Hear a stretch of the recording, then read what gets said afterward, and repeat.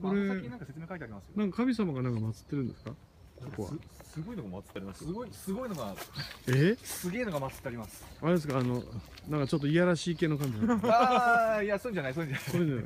そうじゃない。ですいろいろ書いてるね。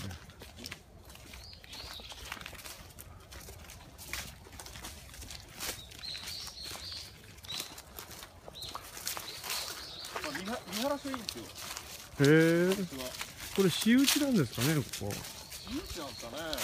うん。あた多分そうですね多分誰かしらが。うん。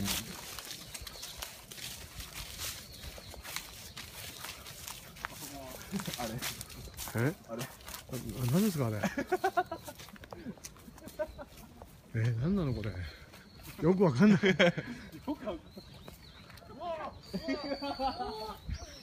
これ何のためだろうえ？怖くないっすよー、え？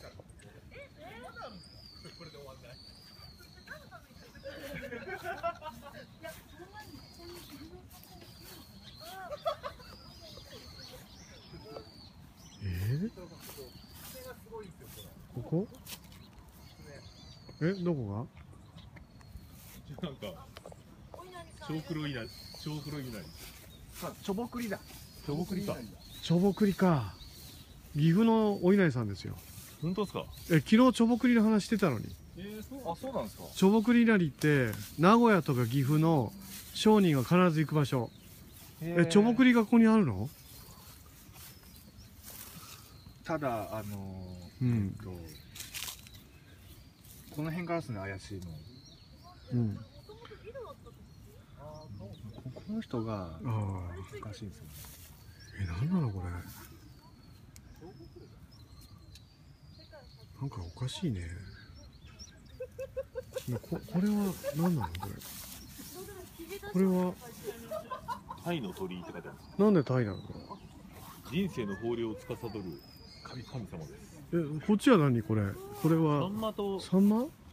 イワシ？やサンマとイワシだと思うんです。よこれは何ですか？これは。っぱ銚子と言ったらイワシとサンマ。あどっちがイワシですか？こっち下のなんかこっちがイワシです上がサンマです上がサかンマ。でタイ。はいタイが一番偉いん偉いですね。ですかね。ええ